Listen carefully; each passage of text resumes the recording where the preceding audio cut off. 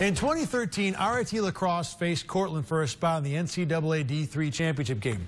The Tigers successfully worked the hidden ball trick in overtime to win. No reason to bring that up, just thought you'd find it interesting. Anyway, two teams played today in the quarterfinals, and look at them warming up together. They're very friendly.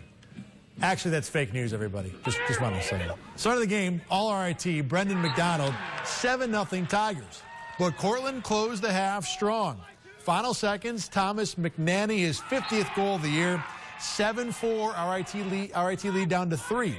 Tigers scored three more in the third. Kyle Killen makes it 9-4.